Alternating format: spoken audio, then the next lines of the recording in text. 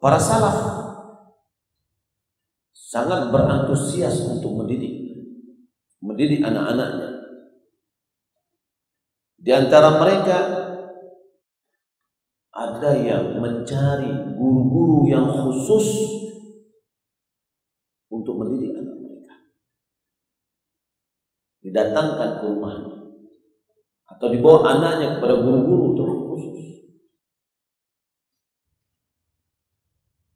supaya anaknya bisa dididik dengan baik. Maka tidak kita ragukan lagi bahwa tarbiyah pendidikan anak sangat memberikan pengaruh yang besar atas kesolehan anak itu.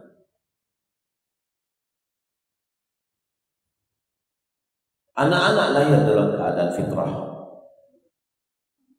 Kullu mauludin yuladu ala fitrah. Setiap yang dilahirkan terlahir di atas fitrah. Apa mana fitrah ini? Syekhul Islam itu yang mengatakan fitrah itu maksudnya adalah Islam.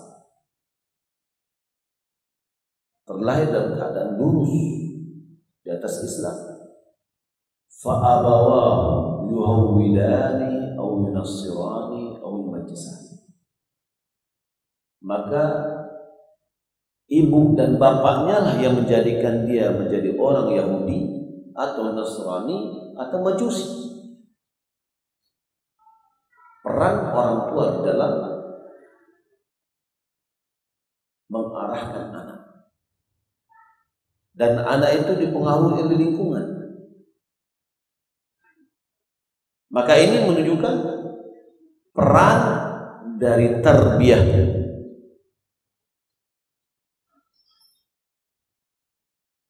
dalam rangka menjaga anak selalu di atas fitrahnya.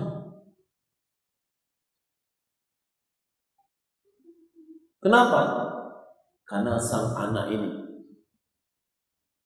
dia akan selalu berada di atas apa yang dibiasakan oleh orang tuanya. Orang Arab mengatakan yansha'u nashi'ut fityani minna ala ma kana awwadahu abuhu.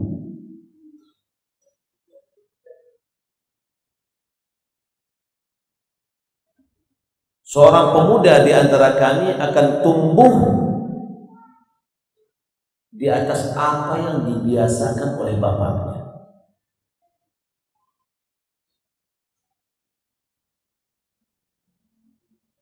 Jadi anak-anak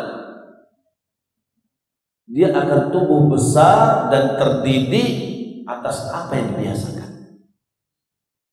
Maka jangan heran kalau seandainya anaknya perokok, karena bapaknya perokok. Jangan heran, anaknya malas ke masjid, karena bapaknya nggak pernah ke masjid.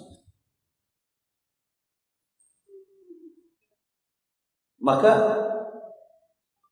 anak-anak itu akan tumbuh atas apa yang dibiasakan oleh orang aw yunasirani aw yubatisani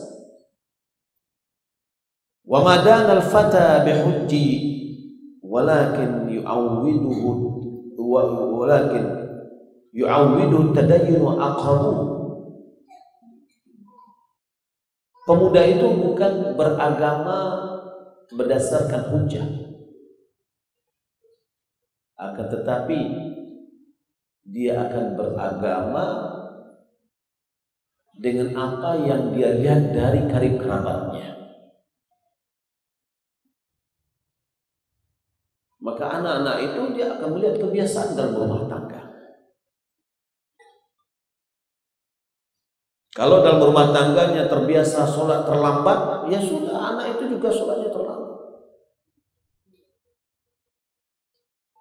Tapi kalau seandainya keluarga itu sangat memberikan perhatian bacaan Al-Qur'annya, kerajinan dalam Al-Qur'an, kerajinan dalam berpuasa, disiplin dalam mengerjakan sholat, maka anaknya seperti itu beragama. Dia akan kembali kepada apa yang dia lihat dalam lingkungannya.